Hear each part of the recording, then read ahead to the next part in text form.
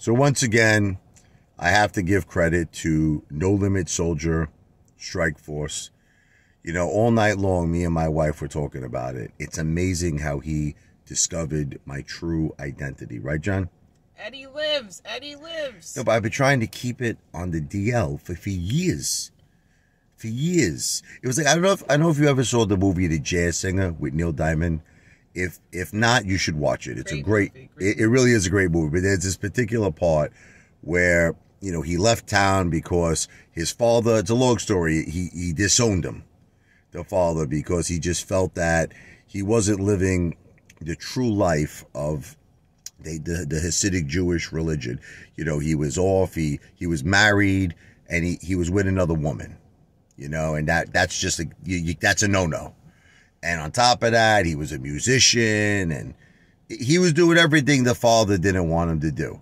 So I think the father ripped off a piece of his clothes, and, and that meant like you know you're dead to me basically.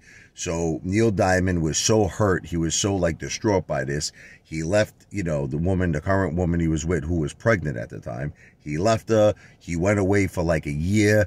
She didn't know if he, you know, if he was alive, if he was dead. She didn't know nothing.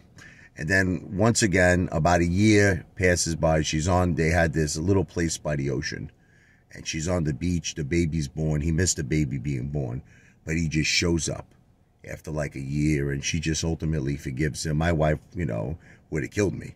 But this this woman, you know, she forgives him, she kisses him. She didn't see him for a year. Comes back with a full grown beard. He looked like Lou. Yeah, before he shaved it with GTII. Well, anyway, long story short, I did the same thing to my wife, and she was very angry at me. She started slapping me, kicking me, you know, because I was gone for a year because of my true identity that I'm I'm Eddie Wilson.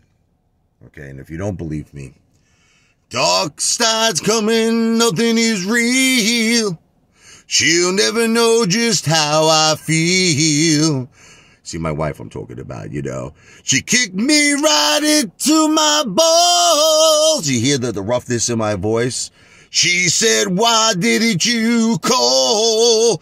You were gone for a year. I had so much tears and I had so much fears on the dark side.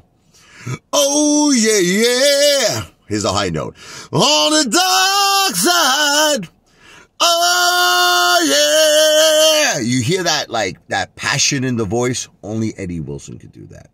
So once again, No Limit Soldier, he did it, right? Yes, he did. Good job. Good job. There's so many great songs, let me tell you. private investigator or something.